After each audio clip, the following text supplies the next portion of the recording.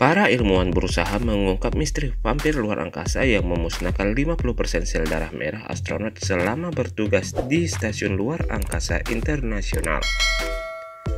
Berdasarkan penelitian ini, 3 juta sel darah merah astronot hancur selama berada di luar angkasa. Kehilangan darah selama di luar angkasa ini adalah sesuatu yang telah diketahui para ilmuwan sejak misi pertama manusia kembali ke bumi. Sekarang, sebuah studi kecil Universitas Ottawa terhadap 14 astronot termasuk tim Paeke dari Inggris pada masa tinggal 6 bulan di Stasiun Luar Angkasa Internasional telah menemukan lebih banyak pengetahuan.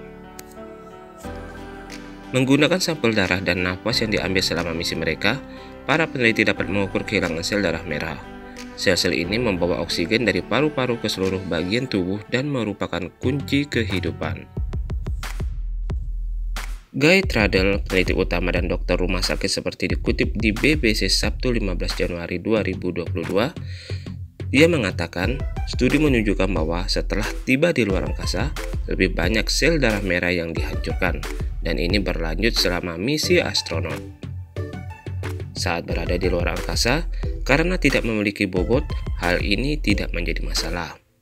Tetapi saat kembali ke bumi, ini berarti astronot telah mengurangi massa tulang dan kekuatan otot dan merasa sangat lelah.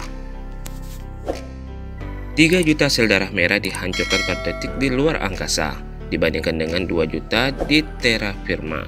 Untungnya, tubuh bisa mengimbanginya.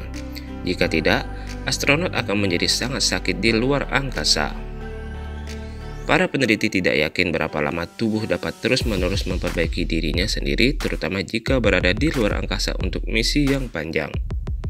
Bahkan, ketika astronot dalam penelitian ini kembali hidup dengan gravitasi, tidak ada perbaikan cepat dan setahun kemudian mereka masih ditemukan kehilangan sel darah merah pada tingkat yang lebih tinggi.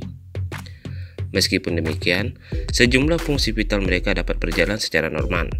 Jika kita dapat mengetahui secara pasti apa yang menyebabkan anemia ini, maka ada potensi untuk mengobati atau mencegahnya, baik untuk astronot maupun pasien di bumi ini. Temuan studi Marau yang diterbitkan di Nature Medicine Mungkin berarti orang yang mengambil bagian dalam misi luar angkasa ke planet yang jauh perlu menyesuaikan pola makan mereka untuk menghasilkan lebih banyak zat besi serta makan lebih banyak kalori untuk energi.